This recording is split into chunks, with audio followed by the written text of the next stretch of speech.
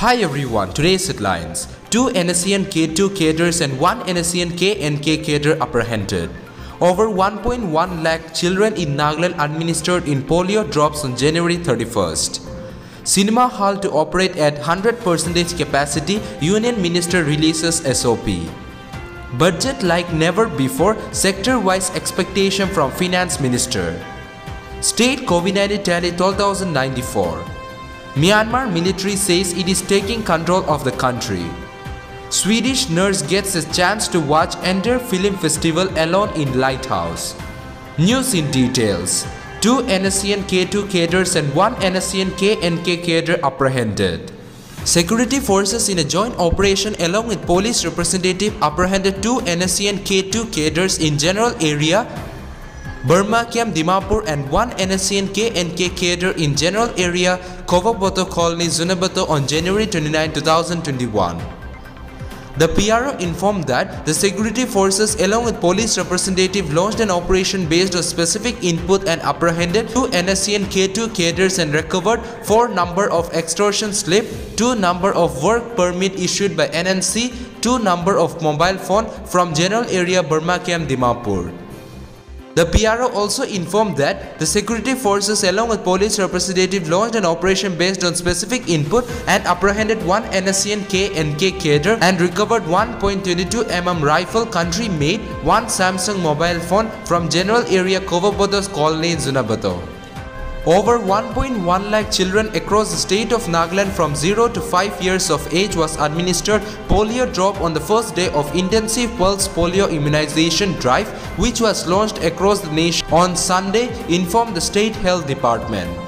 The statewide launch of Polio National Immunization Day was held at Naga Hospital Authority Kohima with Principal Directorate of Health and Family Welfare Dr. Vizolie Z. Suokhrie administering the first polio drop on Sunday, January 31, 2021.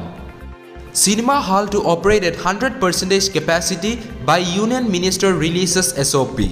The Union Minister Prakash Javadekar on Sunday released a standard operating procedure on preventive measures to contain the spread of COVID-19 for cinema halls and theatres.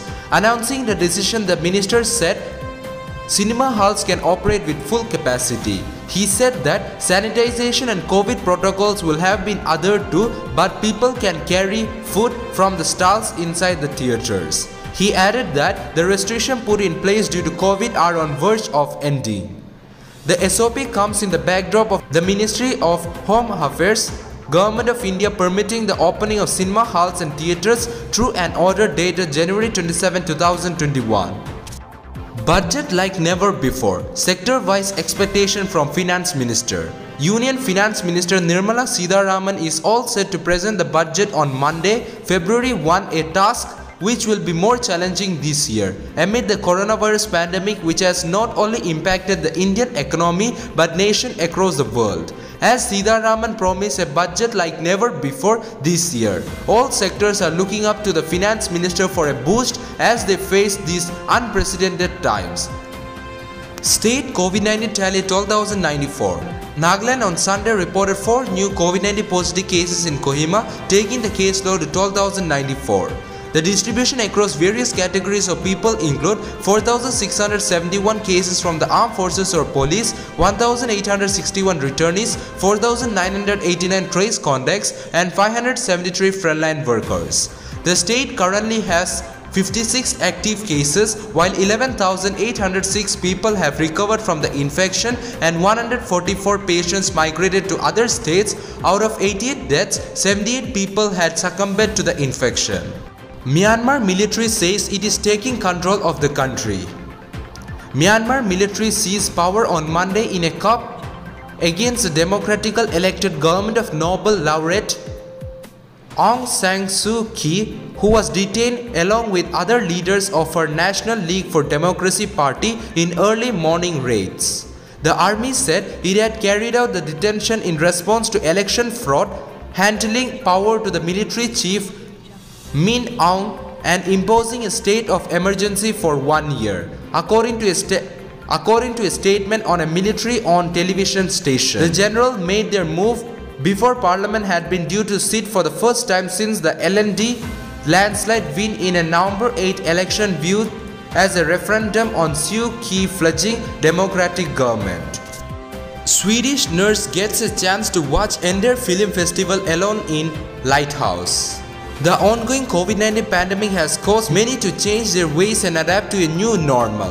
Among those is the Göteborg Film Festival which is celebrating the art of movie making in a novel manner in 2021 that is by focusing on social distancing.